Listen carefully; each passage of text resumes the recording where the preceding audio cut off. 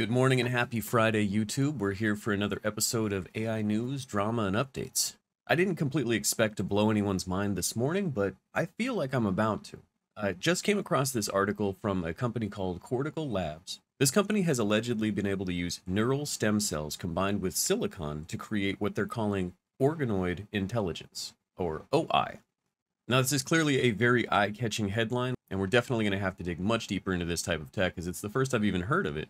But I mean, just reading through what the article is claiming here is pretty wild. The company has basically created a cluster of these stem cells. It's calling it a dish brain. And I thought this part was clever because once it's hooked up to hard silicon, they're calling it a biological intelligence operating system, a BIOS. If this sounds wild, unbelievable, and futuristic, I agree. I did briefly check into their website. It's designed in a way that I hate, where you have to just keep scrolling. But there are research papers here that I will link in the description below for anyone who's curious enough to read through it.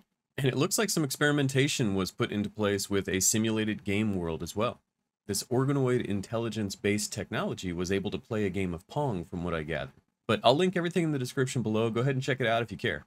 Moving on from here is a brief story in the world of law. While I haven't seen a lot of AI companies, startups, or really anything come out of Europe, I've seen a lot of people with concerns in the EU about the impact of AI, and there's been a lot of attempts to regulate from what it seems. We've even covered stories about Italy and France and a lot of other concerns that they've had. Italy, for the moment, seems to still be having a problem with ChatGPT. But if you hear anything about ECAT, it is the European Center for Algorithmic Transparency. And they do have some valid concerns, things like discrimination, things like biases. But unfortunately, each time they come up, the reality is that they are just reflections of human nature. We really do need to solve those issues. We need to solve them in the real world, but we're only seeing them in our large language models because they exist within our reality. They exist within our stories. They exist within all of our training material. And don't get me wrong, I'm biased. Everyone is biased. They exist within the researchers themselves. So I don't know that it's ever anything that we can completely get away from. And while I've seen some calls for regulation in the States, you know, things like that open letter and things like that, I haven't really seen any groups like this form within the States here that are going to have any kind of power over these companies. But we'll keep an eye on this and see what happens. But moving on from here, we got a lot to talk about when it comes to Bard, and I want to cover the good, the bad, and the ugly. So first thing I will say is Google has made some improvements to Bard. It looks like it's been given the ability to work with code, which was a little bit of a shortcoming before. Of course, it's not great, and it's not going to really be able to compete yet with GitHub's Copilot or even GPT, but it is a sign that Google is listening to the users and hopefully improving things therein. In the world of these chatbots, as we're comparing one next to the other, though, Bard is not anywhere near the level of the other ones. It's just not.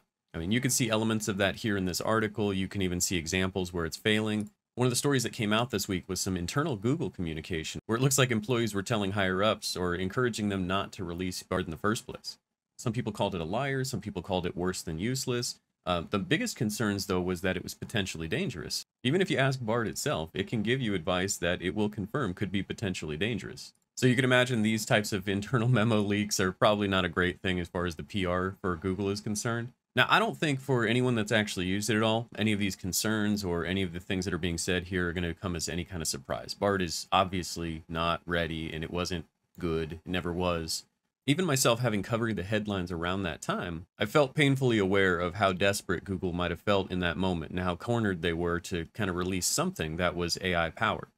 Especially given that GPT technology is based on Google research in the first place.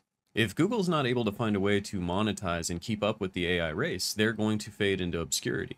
As we continue talking about the Bard saga, and we're going to touch into just Google's future plans, but we are seeing where Google's allowing AI generated content within ad space now.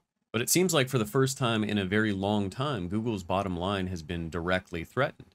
Not only does this AI chaos bring a ton of upheaval to Google, but also Samsung is now considering dumping Google as its default search provider on their Android phones. And with Samsung being one of the largest Android providers, this is a big deal for Google. But credit where it's due, Bing has actually improved in drastic ways, and it is very quickly becoming a de facto search provider for a lot of people just based on the changes. All right, shifting gears a little bit, let's get into GPT technology and the future of large language models like ChatGPT and others. Now, they're going to need training material, and that training material needs to come from us, technically, or just really any kind of writing that exists, any kind of images, the more material that goes into these multimodal models, the better and better they can get.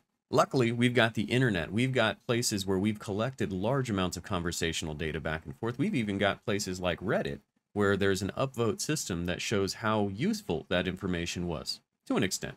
You know what I mean. So if you picture yourself as a company like OpenAI that needs this type of material, Reddit is seeing this as a potential opportunity to become profitable. So Reddit is one of the sites that for a long time has had a very difficult time becoming profitable. Over the years, they've tried a number of different things, but in this instance, what they're going to do or what they're deciding to do is sell their data. But as I say that, I want to also point out that this isn't necessarily their data, it is your data. Now, of course, the terms of service on each website is going to be different, but I don't know if copyright goes away, but this is going to bring up some very interesting questions in the courts of the future, I'm sure. Because a lot of these sites, whether it's Reddit, Stack Overflow, Twitter, they hold data. They're a platform, but they don't necessarily own that data, do they? When you upload a picture to Instagram, for example, does Instagram now own that picture? Can they sell it to other people as training data? Or do you still own the copyright? And I'm definitely not a lawyer. I can't get into the nuts and bolts of this, but it does bring up some interesting questions, and I'm very curious to see where it goes. This, like everything else, of course, we're going to keep an eye on and see what happens. Last week, we talked about how Elon Musk bought a ton of different GPUs after signing the open letter. I saw some articles out there where some other major publications were calling him out on that as well, so I was glad to see that. So the update that I have for you on the Elon Musk story, and it's really not much, it's just that he's decided to call this new AI system Truth GPT. It's going to understand the nature of the universe, apparently. And while it seems like a terrifying idea to me to use Twitter data to create a large language model, I am very curious to see what comes out. So we'll keep an eye on that if and when it happens. Now, moving on from one character who signed that open letter, we're going to move on to another one. Emad, the CEO of Stability AI, has now announced that they are also creating a ChatGPT competitor. Stability AI has released a ChatGPT-like language model.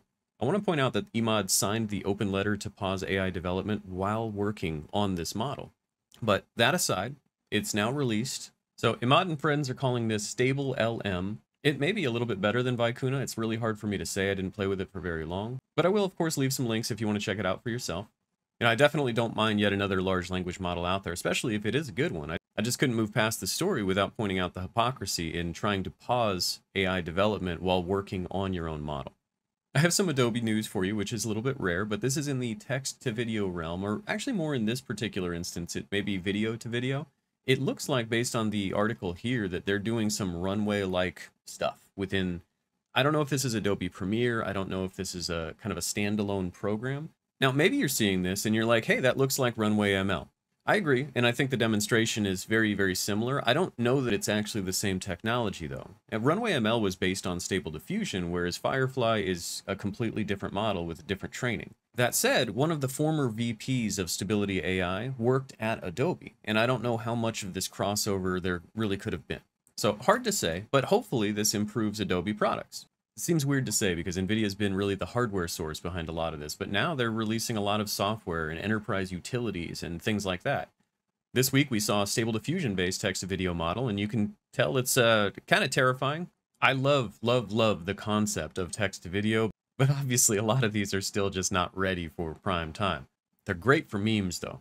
Really quick update for you on Snapchat is Snapchat's AI is up and running. And I've actually seen some fun feedback from it on Twitter and some other spaces where people have been, you know, either being gaslit by the bot or it's, you know, insulting them, all kinds of different fun stuff. I'm not a big Snapchat user myself, but I like the ideas that I'm seeing here from some of the presentation stuff. It would seem they did some really cool stuff like having it analyze your photos. So you take a photo of something like a vegetable in your garden, and it could recommend a recipe for you, for example.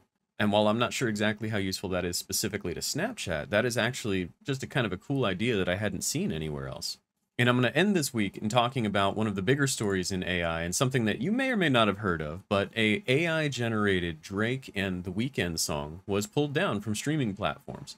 I have a feeling we've only really seen the beginning of this kind of thing happening because the reality is, and I'll be making a video about it soon, but emulating voices is even easier than something like images or something like text. You know, you're going to see stuff like this get taken down right away, but you're also going to see hundreds of examples popping up on TikTok and other places at the same time.